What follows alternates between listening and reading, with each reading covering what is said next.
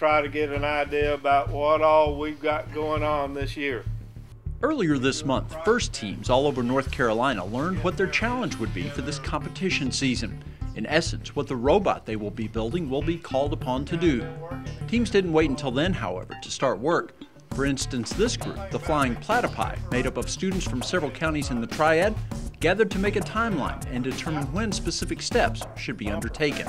The robot's just kind of something to tie things together, I guess. But the whole concept is that you know, you do all kinds of stuff. It's more like a small business. That might be the most common misperception about FIRST, that it's just about students getting together to build a robot.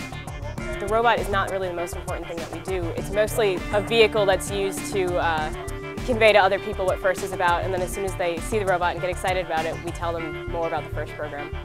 Most people do come in thinking it's just about the robot, but that quickly changes. We want the kids to be well-rounded in not only just about robotics and mechanics, but you have electrical, you have marketing.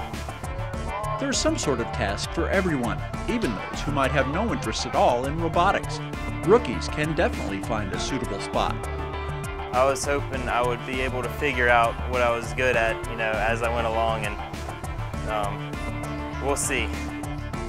The Flying Platypi have participated in FIRST for five years. The Technical Assassins of rural Bertie County are entering only their second season. As part of the effort, the team put on a fashion show to raise capital.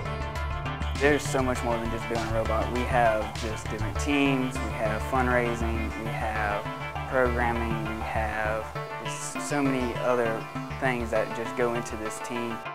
By their own admission, the Bertie squad barely got their robot to move a year ago, but they learned a great deal. Last year we were rookies, as what we were considered. And this year I feel like we're just going to do so much better and we're, we just got a strong team. I think for us being rookies, I think we did very well. We didn't win, but we still did very well. That's one thing about FIRST. Winning a competition might be a stated mission, but it's not necessarily the primary one. I thought it was a great program because of the fact that it really emphasized teamwork, collaboration, and community. I think it's going to help me better, be able to understand how to deal with other people and communicate with other people better. Jack Nicholson was part of the Technical Assassins last year, but he has moved on and is a freshman at East Carolina University.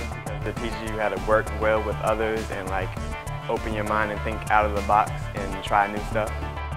FIRST is an acronym for Inspiration and Recognition of Science and Technology. From the very start, collaboration is emphasized. Rookies on the Flying Platypi, for instance, came in and immediately worked to produce an animation focused on an element of safety. My first robotics team created a new piece of equipment called the safety scan. I think it was good for the uh, amount of time that we had, and since we hadn't ever done anything with 3D modeling, and uh, They lose the focus on me, me, me. And it's more now, what can we do as a group or as a team and you can see something small that you do impact a lot of people, and that's really exciting to me.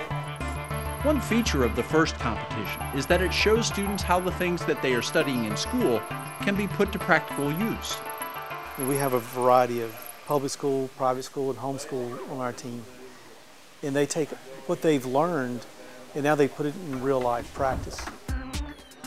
They actually see why is math important, why are the different sciences and for the programmers? Why is it important to learn these different languages and things like that? It also serves to inspire or create an interest in STEM subjects. I've always liked math and science, but this really just heightened my enthusiasm for both of them. I was definitely um, one of the girly girls, you know, but now that I've joined FIRST, it's, um, science has become a lot more interesting to me, and I, I love it. In Bertie County, the appreciation for the FIRST program extends beyond the students involved and even beyond the sponsor school. This really ignites the community itself because people are hearing, wow, this is going on in the school. This is great. Kids are excited. They want to get in here. There is a growing understanding of what participation in FIRST can do for individuals. Benefits can be seen when pursuing higher education. I think being a part of the robotics team can get me scholarships and caused me to have more career opportunities. One of the things I've been hearing about a lot is definitely scholarships, lots and lots, and I was definitely thinking about that when I uh, came here. A lot of colleges love seeing first in an application whether or not you're applying to a science or technology field. But it can also extend well beyond the college years, too. They can take what they're learning here, help them get into college, but then secure a job. The kids coming off these teams, they've got experiences that kids coming out of colleges in a lot of cases don't have, or in most cases don't have. So, you know, they're a real big step ahead. We will be following the Flying Platypi and the Technical Assassins even more in the coming weeks as they build their robots and put them to the test.